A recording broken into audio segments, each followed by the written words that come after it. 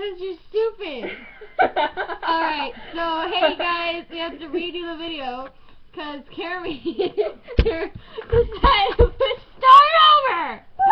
Alright, so Oh, it's because I keep I always push stop for recording, and you already pushed it.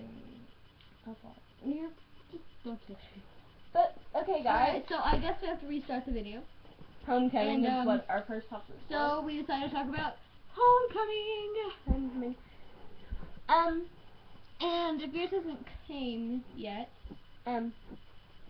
sorry, geez, what is we're gonna talk about ours. And we're gonna Oh, give you the carpet. oh, and then we're gonna give we're gonna give you some really awesome tips on how to do with homecoming. Okay, I need to put that away. And just let you know, me and Micah are actually in eighth grade. Um, and a guy in tenth grade gave her a mom, he wanted her to go to homecoming with her. Uh, we thought that was really sweet Ow. and everything. And yeah, I'm gonna tell you a little funny story. I think it's really hilarious. But there were some girls at our school that love Direction One so much.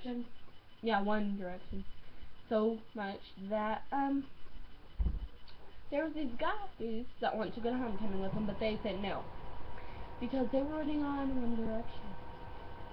But guys, people out there, even if you were in love with Justin Bieber, guys, don't worry about that because there's like a million girls like- out there. There's like five